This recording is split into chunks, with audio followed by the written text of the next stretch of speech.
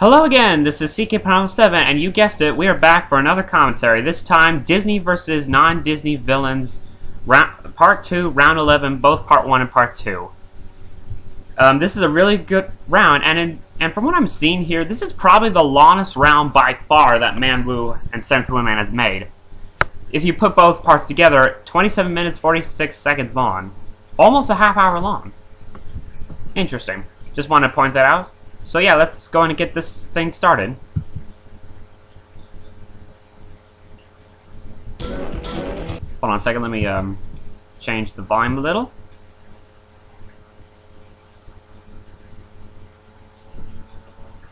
And I guess I'll do. It's about time. Zurg and the Decepticons are at each other's throats. You try getting hold of a digit computer in wartime.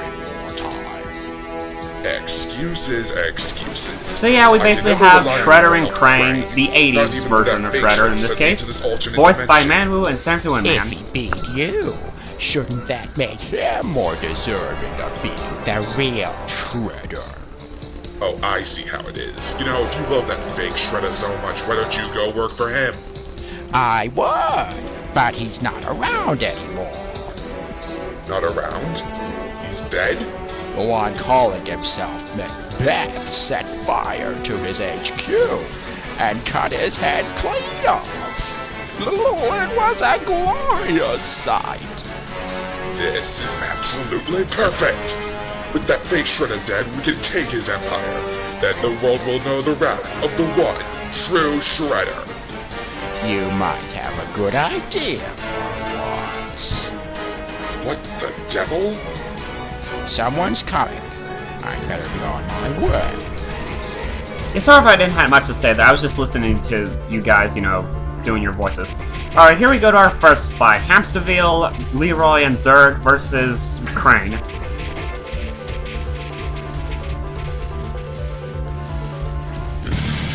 Uh, this was a good fight. It's about time that we had Hamsterviel fight. Because, I mean, we introduced him in round in the round 6 epilogue, and it's already round 11, so yeah, it kind of took a while. I guess I will have to agree with History Buff, though. The Lilo and Stitch sequels weren't really as good as the movies. But, I mean, hey, to me they're a lot better than the Stitch anime series they did. Which I already ranted on that in my Disney Heroes vs. Villains commentary.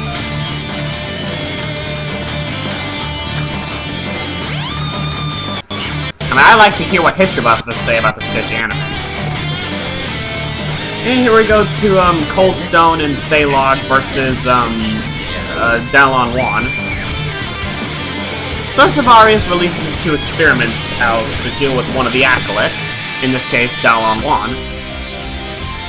Uh, not much really to say on this fight. It's a good fight, just nothing really sticks out that much.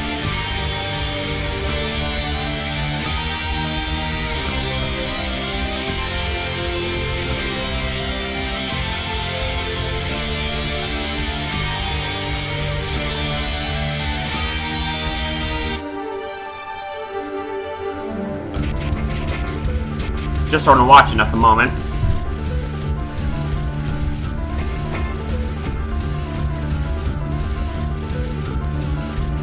Oh, perhaps you should be picked upon by something your own size. Oh yes, the most cliche of all um, lines. Why don't you pick on something your own size? And surprisingly, it pretty much works a lot of times. Especially for the most awesome of villains.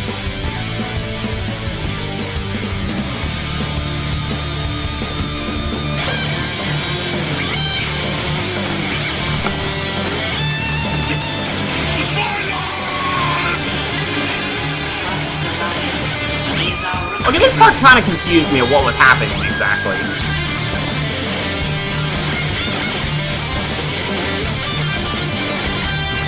We must do this again sometime.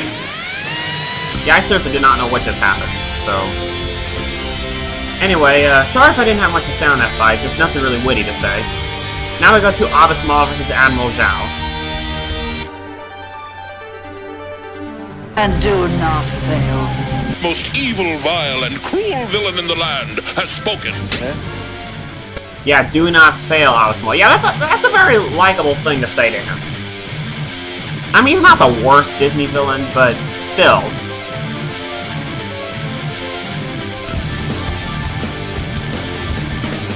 Yeah, you didn't hurt him!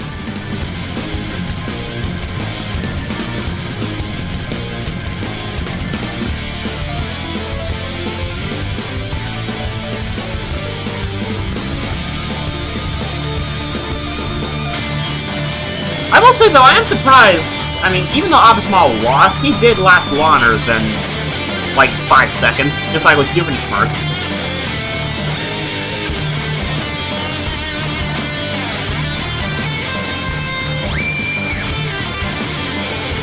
Especially right here. I never would have thought of that, using him just moving the sword around to make it look like he's actually stabbing him. But yeah, he still lost and he failed to get the lamp.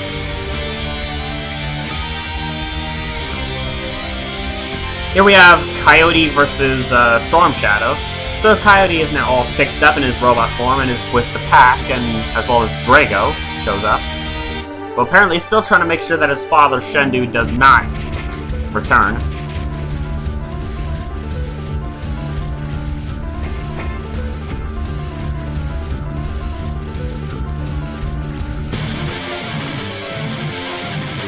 I don't have a lot to say on these rounds. I mean, this is a good round. This is a lot of these fights I just don't have that much to say about. Maybe it's because I just don't have much of a preference to these villains, because the majority of these TV shows I never really watched as a kid. Alright, here we go. Fat Cat vs. Carface. And I gotta say, I was surprised to see... Well, okay, I wasn't really surprised that Carface would return because we saw him in the Part 2 trailer. But still, it's about time that he returned. And it's about time we got the Criminal Empire going. And it's about time we saw Fat Cat do something, because we introduced him in round in the round 8 epilogue. I mean, I did love Chip 'n Dale Rescue Rangers when I was a kid, so this brings up quite a bit of nostalgia for me.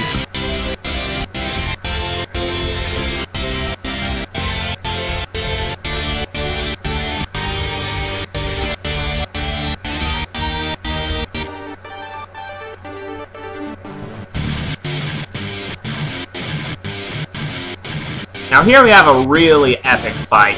Odin, the Dark Dragon, and Hecate versus Mumm-Ra. Wait. Okay, now I am kind of wondering, how do you pronounce her name? Is it Hecate or Hecate? Because I hear I hear people pronounce it either way. I can never figure out how you pronounce her name. I mean, it's been so long since I've watched the Hercules TV series, so I don't remember that much from it.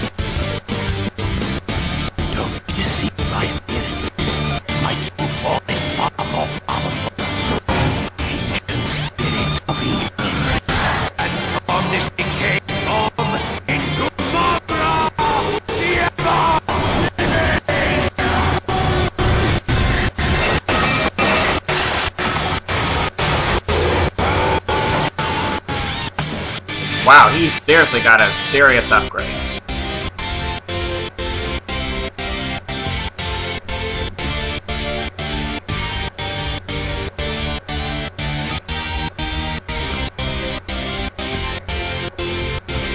That's what we're watching at the moment. It's such an epic fight. But like I said, I never watched Thundercats, so I don't know too much about Mumm-Ra. And I never really realized he had another form.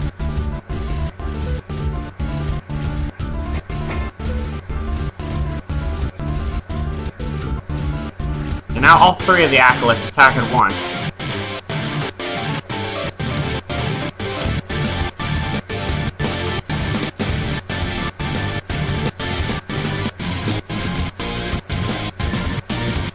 And here we have Thane versus Karai.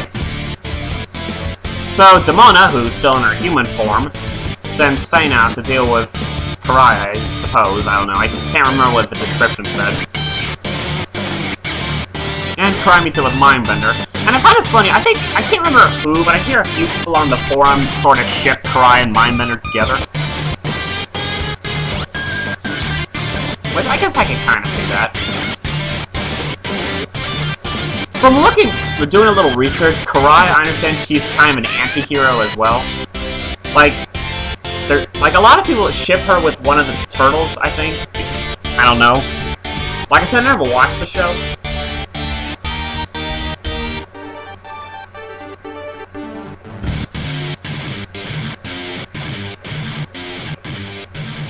And Fang just escapes. You know, I'll be honest, I think Karai, she is probably one of the, has to be up there in the really attractive uh, female animated villains, if you know what I mean. And here we go to the live action realm. Jadis versus Saruman and Lurtz.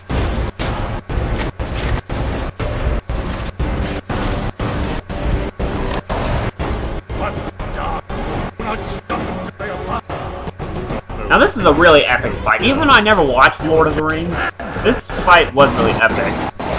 And it doesn't make sense getting these two villains to fight. They are somewhat similar. They're both, like, evil wizards, well, or something like that. Well, Jadis is a witch, but you know what I mean. And it's also about time we had Jadis get a fight. You know, that's another thing about Jadis using in this tournament, is that she I mean, she only really appears in the first Chronicles of Narnia movie. I mean, she does appear in the second and third one, but the thing is, the third one is not Disney. Disney did not make a Voyage of the Dawn Treader. So I'm kind of thinking, if you were going to use footage from that, it would... I, oh, sorry, my thing does this every now and then.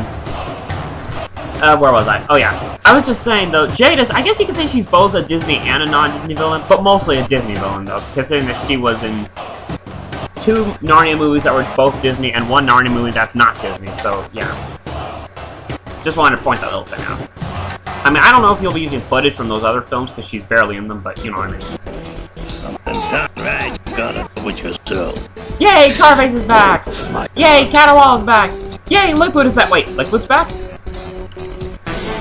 I mean, Carface and Caterwall I was... I was excited to see, but Liquid? I did not see that coming. rather have the crouton or the entire Caesar salad? Does that mean Aunt Fig will will be back eventually? Because that'd be very nice. Because it's been a while since we got any, you know, the return of any non-Disney movie villains. Because we, like what History Buff said, I mean, I love what we, that we have TV villains, but we use them so much that we barely get to see any movie villains, especially ones that we had in the pre in the, in part one. Got to have money. What do I more than anything in the world?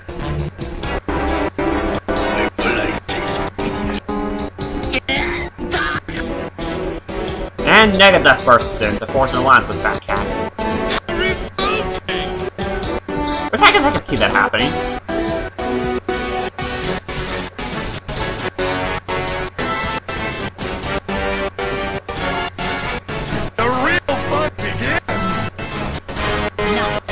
Drago now teams up with the Pack, who are now upgraded.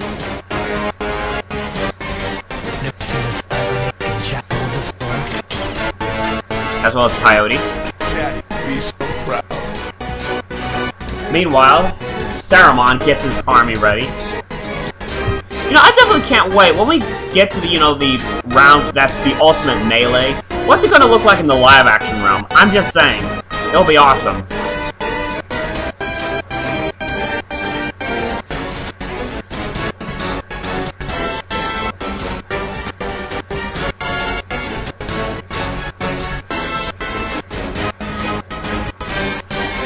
See Saruman and Lurtz team up with these other two Lord of the Ring villains.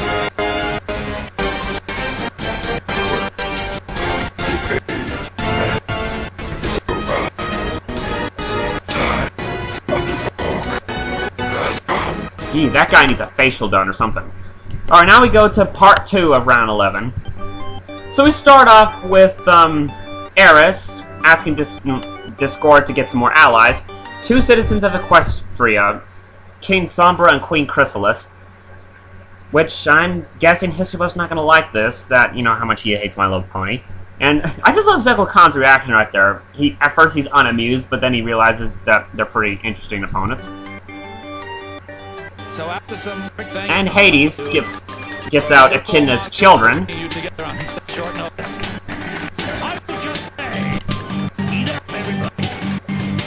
And we go to our first fight. Gaston and Echidna's children versus um, Queen Chrysalis and King Sombra. Which, as funny as this sounds, and as weird as it sounds, this is actually probably my um favorite fight in this entire round. I know that sounds funny considering that it's My Little Pony villains, but I'm serious. This round was so epic. And let's get ready to rumble. Because, I mean, it takes place in a Coliseum for one thing. So, I mean, yeah.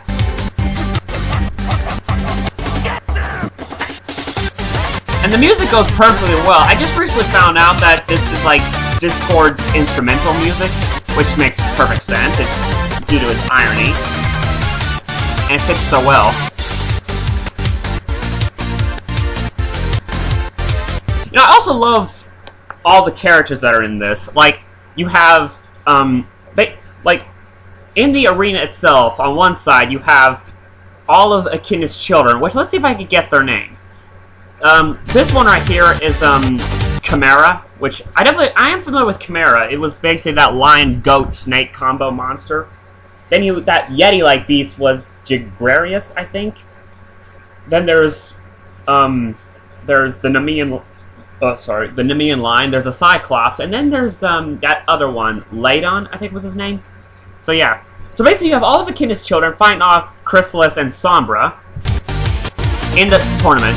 On the Disney side in the stadium you have Hades, Echidna, Gaston, the Weird Sisters, the Gorgon Sisters, and Dr. Facilier all rooting for the children. Whereas on the non-Disney side you have Zekel Khan and Eris and Aku and Discord like right here, he's just sitting in the arena eating popcorn. I mean, if if, if someone was doing a fan fiction of just this round, I could just so see that kind of scenario happening. I'm just saying. You know, funny thing, I just recently looked up that the actress who voices Queen Chrysalis also voices um Evil Lyn from uh, He-Man. I find interesting. And as for King Sombra, okay, I'm sorry if I keep pausing this. I just keep bringing stuff up. Um, I I understand that Sombra is like the newest My Little Pony villain. He appears in like the beginning of season three. At least that's what JC says on the board.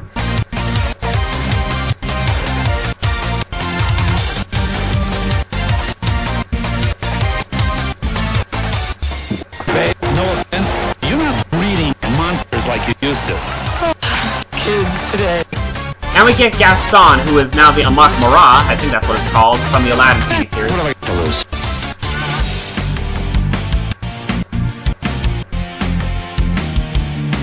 And I will say, am I the only one that thinks Gaston is much better as a monster than his actual human self?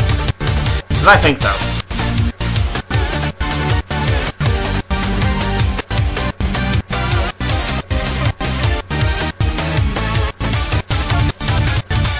You know, another thing, um, I'm beginning to see that. I, I forgot to mention this earlier when when Hades said, used, you know, when Hades said, "Got them," and that's when I began to realize, you know, these Disney villains, they seriously mean business. Because earlier we had Otis Moss said, "Hurt them," and now we have Hades says, "Get them." It's like now they they are sick and tired of taking all this crap from the non-Disney villains. Now they're really meaning business. I just love it.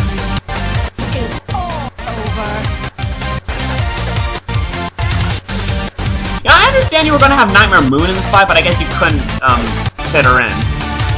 Or you couldn't get the footage to work.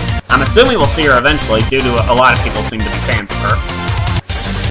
Now, did he kill Queen Chrysalis or just send her away? Like, we'll never see her again in the war. And the score goes to the Disney villains. And now we're going to see a rivalry between Facilier and Tekla Khan. I'm just saying it'll be interesting. By the way, see this this um interaction between Fac like I okay I don't know if Facilier was he looking at Zekel Khan or Discord. I'm assuming it's Zekel Khan. But I don't. know, It's just when you when you went from Facilier to Discord, it just reminded me of that fight I made Series Women. You remember the Facilier versus Discord fight? I did make that as a fight, and sadly you won't be able to include it because I thought it was a really good fight. Set. match. Oh yeah, Hades means business now. And here we go to John Castaway versus Amon. Uh, again, not much really to say on this fight, other than it was well edited. it's good to see Amon finally getting some action in this series. Even though we just introduced him in round 10.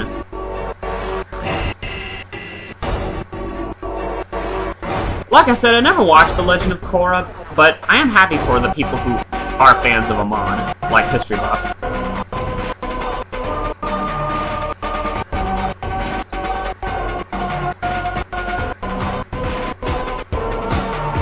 As for Castaway, I understand he's like the leader of the Quarrymen, which are those men from Gargoyles that History Buff really does not like, due to the fact that they remind him too much of realistic people and all, like Nazis and stuff like that.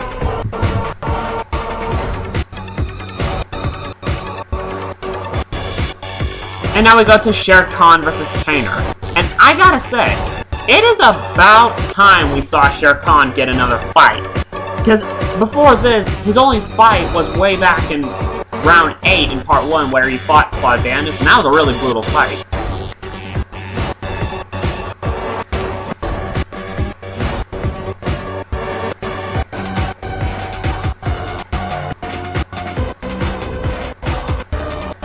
And again, you're using footage from the Jungle Book 2.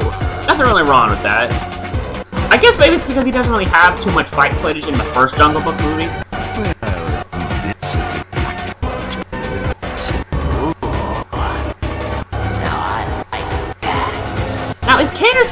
Part jackal or something like that?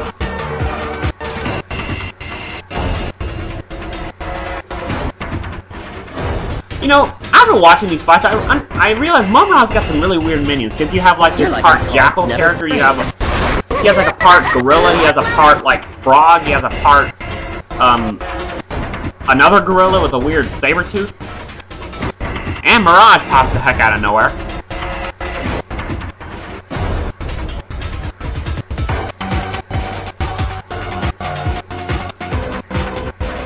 And here we have Gantu versus Megatron, the rematch. Because we saw them fight in the home exhibition round, so Gantu encounters Megatron again. But this time he's got more powerful than their last encounter.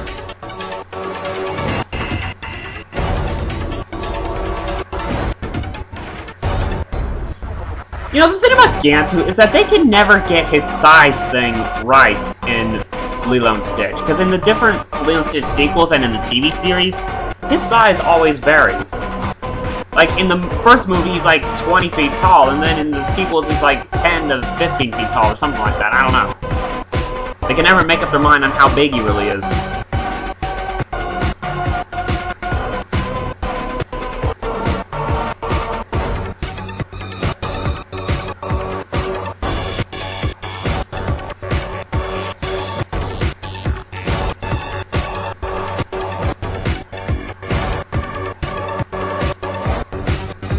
Just sort of watching at the moment.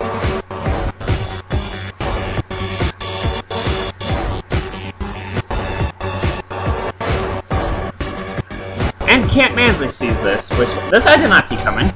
Apparently Kent Mansley's looking for more villains to add to his prison, because so far, let's see, he has Jasper Horace, he has McLeach, he has John Silver, and now he has Gantu. You know, I can't help but think, are we going to eventually see like a prison break? You know, have the villains try to break out of Kent Mansley's prison? I'm just saying, that would be epic and awesome if you could do that, somehow. And now we get Senor Senor Jr. versus, um, Vlad Plasmius.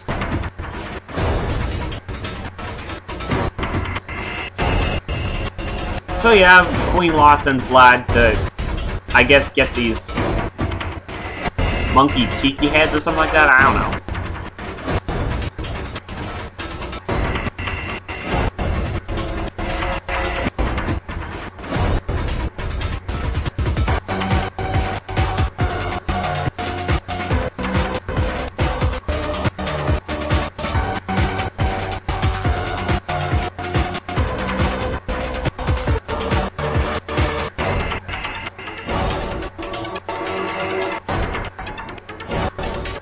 Again, just sort of watching this at the moment.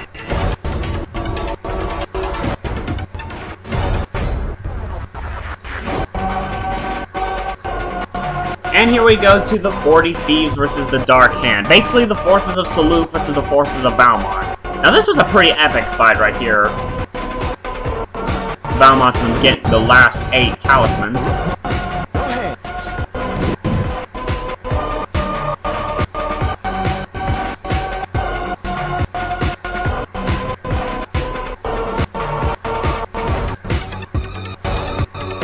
Punch right in the kisser.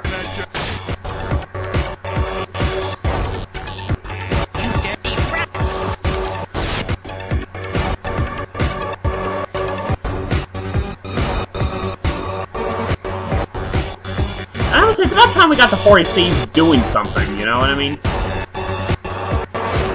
By the way, that reminds me, and I know this is kind of off topic at the moment, but about Mumm-Ra. Um, does he have scarred hyenas, or the hyenas just, you know, free on their own? Like, are we gonna see the hyenas again? Because you can get them to fight someone. Like, you can use footage from the Lion King 1 and half, they have some footage in there you can use, I'm just saying. And Valmont now has all the talismans. This is not good. And here we go to the Battle of Peru, which is basically the forces of Yzma versus the forces of Azula.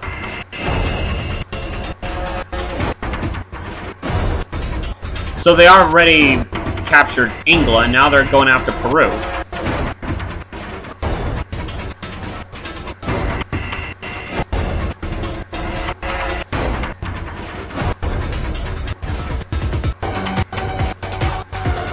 And it's about time we have, like, Shan Yu's faction doing something. Like, we finally get to see the Huns clan doing something. But I'm just saying, where's, like, the rest of their crew? I mean, I understand Saluk and the 40 Thieves are, you know, they're still, you know, dealing with Valmont and them. But, like, where's Mozenrath and I Am a Ghoul and them? I mean, like, shouldn't they be helping them? Oh, by the way, I love this bit right here with the roller coaster. It's really creative.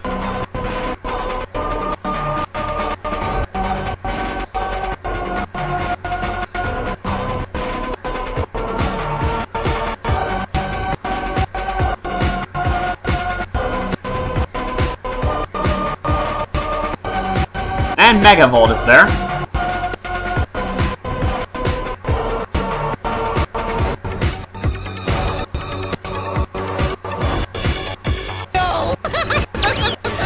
And guessing Megavolt just retreats, and so does Yzma and Kronk.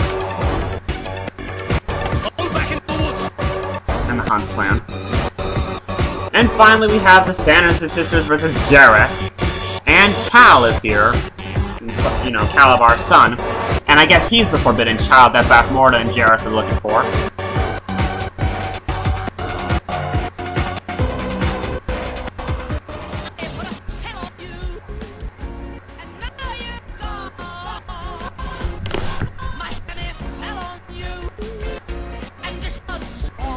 And I also love what you did here, where instead of just adding just random music, you just kept the song from Hocus Pocus in this fight.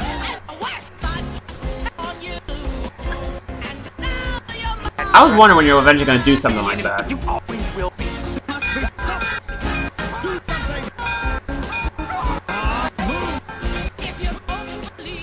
You know, as I said, I've never seen Labyrinth, so I don't know that much about it. But I gotta say, some of Jareth's minions look a lot like Muppets.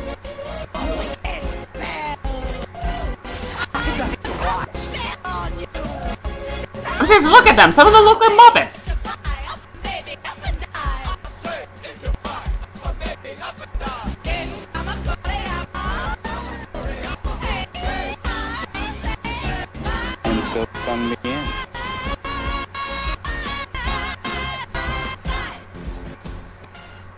So yeah, that was pretty entertaining. Now we go to the epilogue, where Shan Yu sends Yzma, Mozenrath, and Imagul to find one more sorcerer.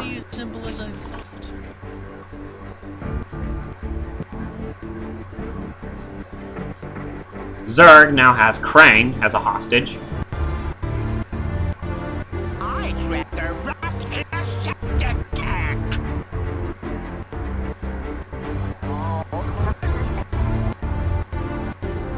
at Cora's mansion, Destro meets a woman named D Dominique, or something like that, but who really turns out to be De Demona.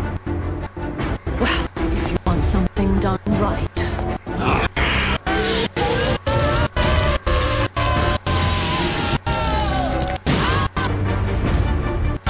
Love Destro's reaction there.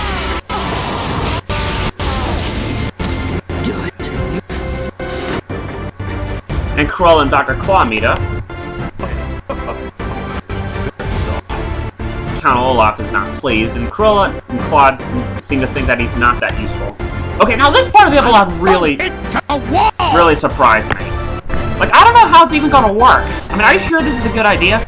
I mean, seriously. I mean, okay, so basically, yeah, Mok turns Forte in his human form. But just how's that gonna work? Because Forte is only a human form in, like, a flashback in The Enchanted Christmas. So I'm just kind of wondering, what do you have in mind there? Whatever it is, I am excited for it. And Mok being his insane self, like always. And Mad Madam Mim is back! And the Sorcerer Society is born! Yzma, I am a ghoul, Madam Mim, and Mozenrath. And Destro introduces Cobra to Dominique, who, to Anton Sevarius, looks surprisingly familiar. I've decided to lead